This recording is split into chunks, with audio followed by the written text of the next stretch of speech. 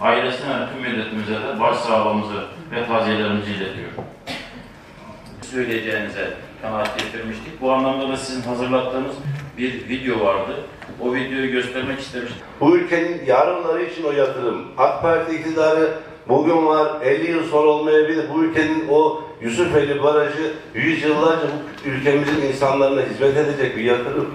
Taşıt alımının belediye meclisinde görüşülerek karara bağlanmasını ve gerekli işlemleri yürütmek üzere Darıca Belediye Başkanı Sayın Muzaffer Bıyık'a yetki verilmesi hususunda yazımızın meclis havalesini olurlarınızı arz ederim. Seri üretimine geçilen ülkemizin ilk yerli ve milli elektrik otomobili olan TOG marka otomobilden bir adet satın alınabilmesi için 5390 söylediği kanun 85. maddesinin B bendi ve 237 sayılı Taşıt Kanun 10. maddesi gereği belediye meclisinde görüşülerek karara bağlanmasını ve gerekli işlemleri yürütmek üzere Darıca Belediye Başkanı Sayın Muzaffer Bey'e yetki verilmesi hususunda yazımızın belediye meclisine havalesini arz ederim.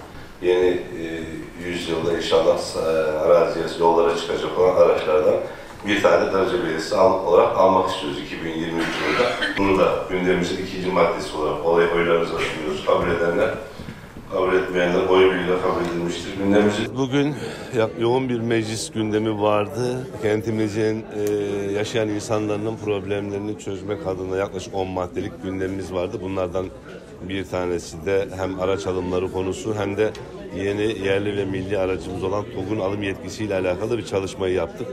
E, sağ olsun meclisimiz oy birliğiyle bize yetki verdi. İnşallah 2023'te Türkiye'nin yollarında olacak olan yerli ve milli aracımızı ilk e, yola çıkar çıkmaz Darıca Belediyesi olarak bizler de alıp halkımıza hizmet etmek adına onunla birlikte yol yürüyeceğiz. E tabi Darıca'ya kaçıncı araç nasip olur onu bilme şansımız yok ama neticede biz bu yolun yolcusuyuz. Cumhurbaşkanımızın açtığı bu yerli ve millileşme noktasındaki araca sahip çıkmak Darıca Belediyesi olarak bizim de görevimiz. Biz bugünlük bir tane araç alma yetkisi aldık ama üretimle alakalı pro, e, yol açıldığı zaman daha fazla araç satın almaya gidilerek bu sürece destek olmamız gerekir diye düşünüyorum. Ee, Cumhurbaşkanımızın yapmış olduğu bu kutlu yolda bize de düşen ona destek olmak, onun yol yürüyüşüne katkıda sunmak.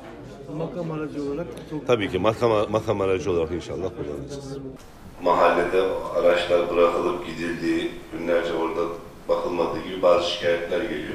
Oylarınıza sunuyoruz. Kabul edenler, kabul etmeyenler oy birliğiyle kabul edilmiştir. Gündemimizin kabul edenler, kabul etmeyenler oy birliğiyle kabul edilmiştir. Teşekkür ediyoruz. Gündem çünkü oradaki yaşayan insanların tedirgin olması, binalara zarar vermeyeceğine dair resmi orada hocası da var bu işin. Dinamit patlatan hoca, hocanın eşliğinde e, profesyonelce yapılan bir çalışma.